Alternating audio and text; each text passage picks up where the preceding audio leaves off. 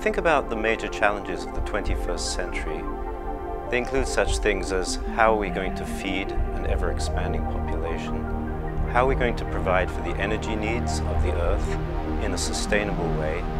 And how are we going to prevent disease and cure diseases? In short, make the population more healthy. Well, the MBS stands for the Master of Business and Science a brand new degree framework at Rutgers that's part of a wider national movement, the Professional Science Master's degree, that is now in place in over 100 institutions across the country. So the new Master of Business and Science degree is a professional science master's program. Students take their science courses in a particular applied science concentration.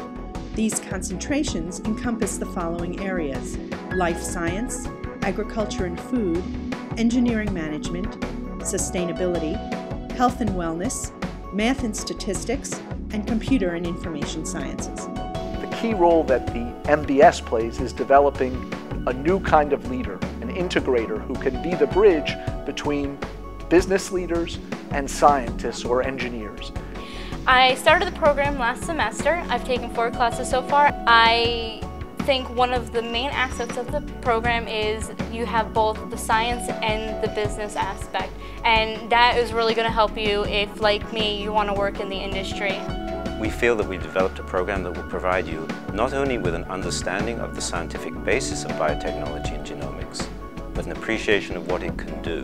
Rutgers is an ideal place to do this new kind of professional science master's degree and there are a number of distinctive aspects of our program. So the MBS spans all three Rutgers campuses, Newark, New Brunswick, and Camden. It also spans 15 schools across those campuses so that you're able to draw on the best professors from all of the different disciplines in a single degree framework. Making those kinds of uh, critical decisions requires people who have both an understanding of the necessary business tools and the necessary science and technology issues. People with both sets of skills are really a scarce commodity and therefore in high demand in the, in the job market.